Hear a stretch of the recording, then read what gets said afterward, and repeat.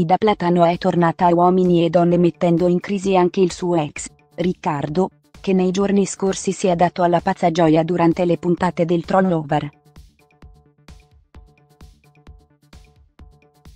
La bella dama è decisa a rimettersi in gioco e tutto lascia pensare che queste ultime settimane di programmazione saranno calde per i due soprattutto alla luce di quello che è successo in passato e potrebbe succedere ancora.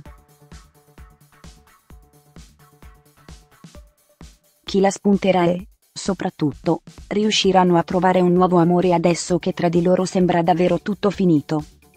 I fan lo sperano ma, intanto, Ida Platano è tornata sui social e non per commentare la puntata ma per dirsi fan di Giulia Della Ellis e del suo modo di truccarsi tanto da farlo per controllare il risultato finale. Dopo una serie di storie, alla fine Ida è apparsa al massimo del suo splendore per annunciare che si sarebbe struccata. Una serata passata così, in attesa dell'amore. Pamela furiosa a uomini e donne. Pamela Barretta è davvero una furia.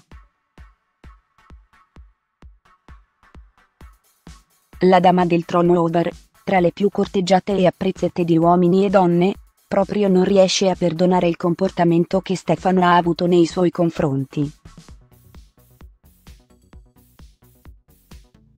Nel corso delle ultime puntate del Trono Over, il pubblico ha infatti assistito al forte scontro tra i due, quando Pamela lo ha visto al centro dello studio per un'altra dama, Roberta di Padua. Cosa che l'ha stupita visto che Stefano le aveva confessato sentimenti importanti nei suoi confronti. Ecco perché, nella puntata e dopo la sua conclusione, la dama si è detta furiosa e disposta a mettere un punto definitivo alla loro conoscenza. Pamela ha parlato anche ai microfoni del magazzine di Uomini e Donne, dove ha ribadito le motivazioni della sua rabbia nei confronti di Stefano, rabbia che in studio l'ha portata anche alle lacrime. Tamela furiosa con Stefano, lo sfogo post puntata Stefano ha detto che tiene a me nel momento in cui ha capito che mi sta perdendo. Esordisce così Pamela nel corso dell'intervista rilasciata al magazzine di Uomini e Donne.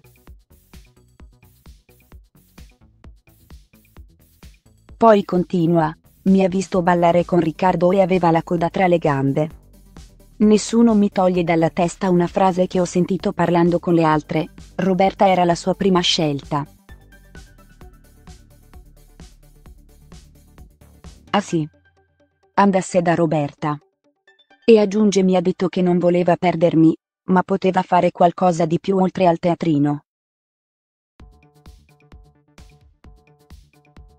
Se è vero quello che ha detto, aspetto un gesto. A me pare che non abbia fatto nulla per me, neanche quando mi ha visto piangere. Si è mosso solo dopo aver preso il 2 di picche da Roberta. Che sia quindi la fine per questa frequentazione. Iscriviti per non perdere le novità, grazie per il like.